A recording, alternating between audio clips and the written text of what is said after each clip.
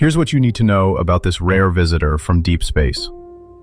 Discovered on July 1, 2025, by the Atlas telescope, 3I/Atlas is the third confirmed comet to come from outside our solar system. It traveled at an incredible speed, around 58 kilometers per second, on a hyperbolic path that means it's just passing through and won't come back. On October 30th, 2025, it reached its closest distance to the Sun, about 1.4 astronomical units, just beyond the orbit of Mars. As it neared the Sun, sunlight warmed its icy surface, creating a glowing cloud of gas and dust called a coma, which grew larger as the comet became more active. NASA's James Webb Space Telescope detected water ice and carbon dioxide on 3I/ATLAS, key ingredients linked to the origins of life.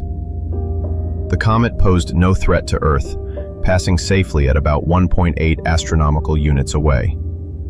This cosmic visitor reminds us how connected the universe is, carrying secrets from other stars right through our solar system.